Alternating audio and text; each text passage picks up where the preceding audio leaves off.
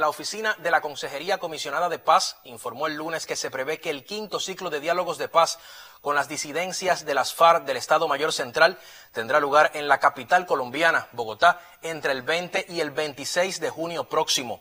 El anuncio surge después de confirmarse la división del Estado Mayor Central en dos grupos. El más beligerante, comandado por Iván Mordisco, que está desatando una oleada de violencia especialmente en la zona del Cauca, y otro menor que sigue en la mesa de conversaciones. Según la oficina de la Consejería Comisionada de Paz, el grupo agresivo ha protagonizado ataques a estaciones de policía y a objetivos militares en el departamento del Cauca, por lo que el gobierno ha emprendido una ofensiva contra ellos, mientras que las negociaciones con el segundo grupo parecen retomarse y el cese al fuego sigue vigente con ellos.